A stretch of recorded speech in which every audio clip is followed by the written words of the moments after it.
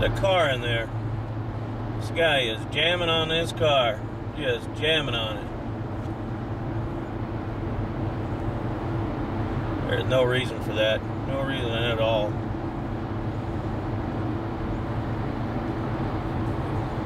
Except for not knowing how to drive a truck. Now, that would be the reason. If you've ever wondered how your guy handles a truck when you're not watching them, this is how.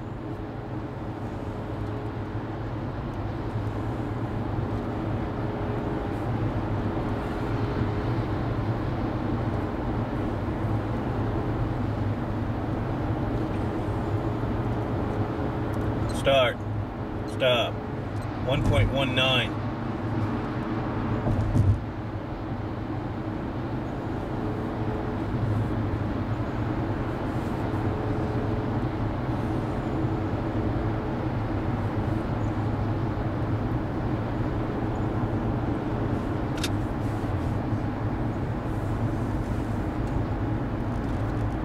Look at all the room we've got.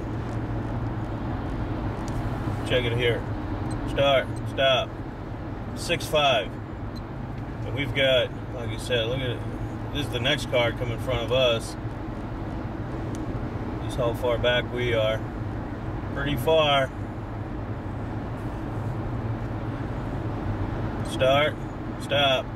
Nine seven. And drivers say all the time, you can't keep, you know, uh, following distance. Cars get in the way and all this jazz.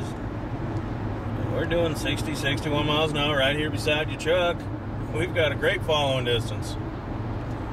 Much better than this guy, who, if there was a, an abrupt lane change, well, start, stop. It's a 8 1. If he had to stop quickly, he'd probably be either pop that vehicle in the tail or he'd have to come on over and cut us off. That is not a safe following distance. Everybody's popping on out of there.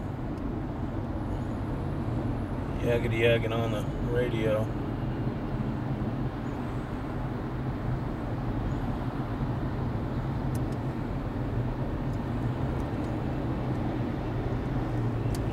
All clustered up.